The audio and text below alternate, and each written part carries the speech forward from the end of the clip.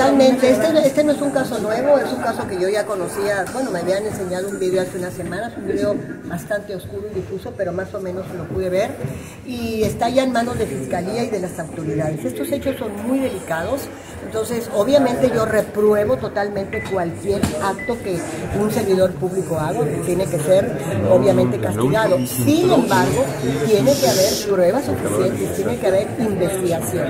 No puedo emitir una opinión si si no hay una investigación previa. El, el policía no fue despedido, como por ahí leí, simplemente se le, se le suspendió, pero no se le despidió, y eh, es nada más quería aclarar ese término. La investigación, por supuesto, ya la hizo Sindicatura y ahorita ya está en manos de Fiscalía.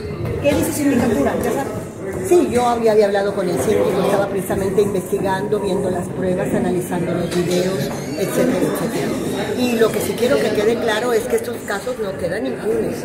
Si se descubre la culpabilidad, si se confirma la culpabilidad, obviamente el castigo no se merece. Gracias.